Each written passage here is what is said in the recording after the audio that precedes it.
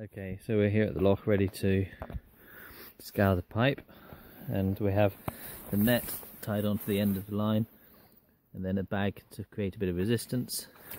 Then it goes through this little hole in the side of the pipe fitting and then the pump is there ready to suck and then we just connect this yellow pipe onto the end of the pipe in the loch. So this is the next stage. Phil's way over there near the loch and he's just about to start up the pump. This is the midway point in the burn where we can split the pipe apart and get the uh, get the line out.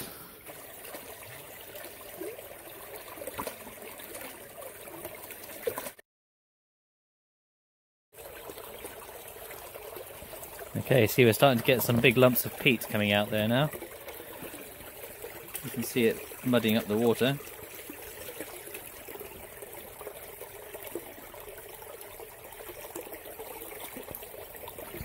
See all this peat, this is the problem, this is what we have to clear out. See, that's blocking up the pipe.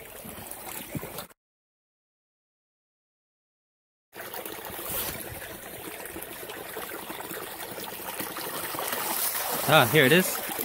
That's our string. Okay, Phil, I've got the string. Got the string.